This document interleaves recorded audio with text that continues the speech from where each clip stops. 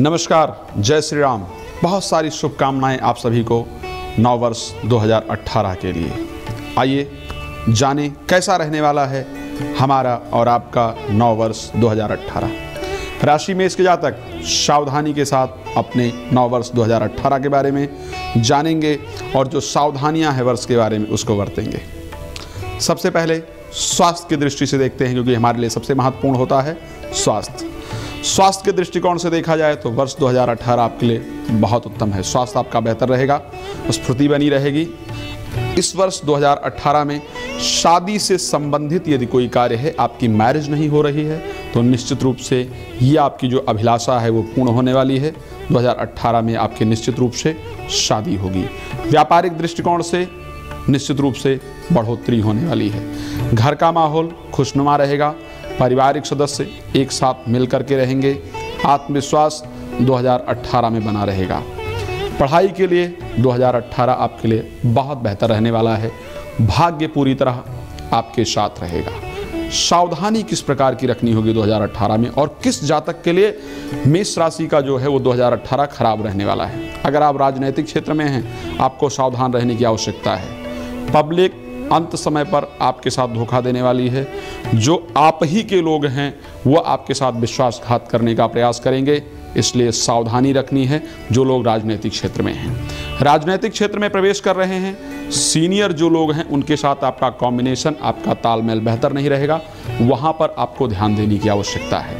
व्यापार कर रहे हैं या नौकरी कर रहे हैं तो भी सावधानी की आवश्यकता है। किस प्रकार की? व्यापार में हाथ में काम आते आते छूटने की वो है। हाथ में जो काम आ रहा है, आपको पूरी तरह से लग रहा है कि ये कार्य मेरा बनने वाला है। वहाँ पर अंत समय पर जा कर के दिक्कतें होने वाली हैं।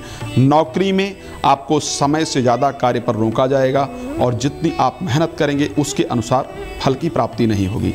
चर्चा इस बात पर भी करेंगे कि किस प्रकार उस फल को प्राप्त किया जा सकता है, किस प्रकार उस रिज़ल्ट को प्राप्त किया जा सकता है। लेकिन उससे पहले मैं आपको बताना चाहूँगा कि यदि कोई महत्वपूर्ण कार्य करना है तो कौन से महीने में आपको करना है? ध्यान रखिए, मई का जो महीना है, आपके लिए बहुत बेहतरीन रहने वाला है। मई के महीने में, जिस महीने में सूर्य मेष राशि में गोचर करता है, उस महीने में आपके द्वारा किया गया प्रयास निश्चित रूप से आपके लिए बहुत अच्छा फल देने वाला होगा।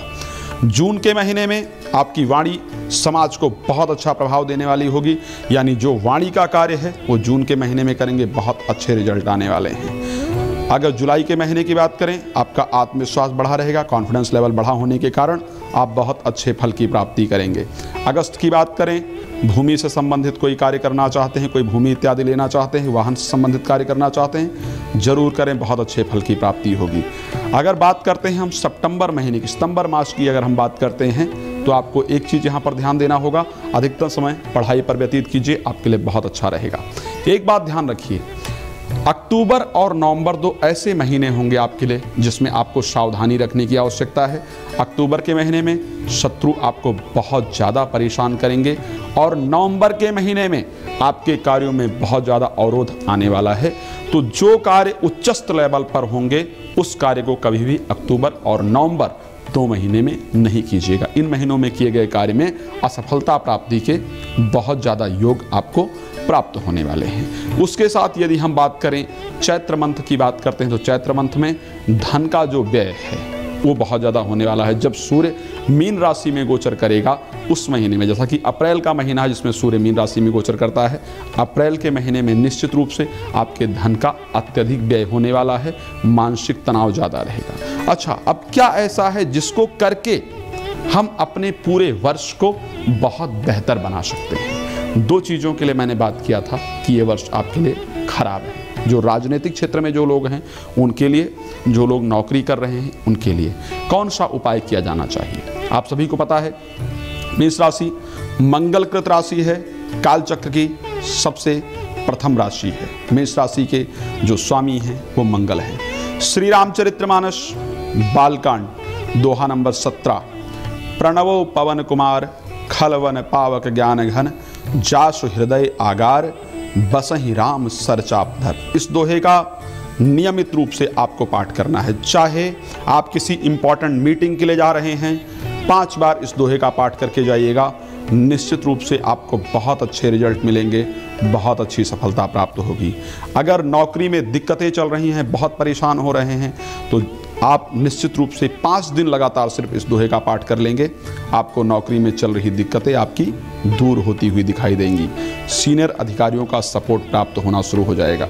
घर का माहौल बहुत ज़्यादा खराब हो, फिर भी इस दोहे का पाठ करेंगे, निश्चित रूप से आपके जो घर का वातावरण है, वो आपके अनुकूल हो जाएगा। यानी कहने का मतलब मेरा सिर्फ़ इतना है कि 2018 में श्री रामचरितमानस बालकांड दोहा नंबर 17 आपके लिए अमृत है, जिसका पान करने से आप अपने 2018 को अति उत्तम बना करके अपने जीवन को सुख समृद्धियों से परिपूर्ण कर लेंगे। राशि मेष के जातक के लिए मेरी बहुत सारी शुभकामनाएँ हैं और मेरी भगवान राम से प्रार्थना है कि 2018 आपका खुशियों से भरपूर रहे। जय श्री राम।